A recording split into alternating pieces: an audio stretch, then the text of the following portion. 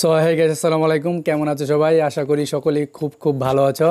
তো গাইস আজকে আমি খাব দুশো পিস কোয়েল পাখির ডিম। সাথে আছে আস্ত দুটি গ্রিল চিকেন ভেরি স্পাইসি এখানে আছে আমার পছন্দের ভেরি স্পাইসি এক্সট্রা গ্রেভি এখানে আছে সালাদ আর আছে কোকাকোলা তো গাইজ যদি ভিডিওটি ভালো লাগে, অবশ্যই চ্যানেলটি সাবস্ক্রাইব করে দেবেন এবং আমাদের ফেসবুক পেজ এটা নাই ফলো করবেন। Okay guys let's start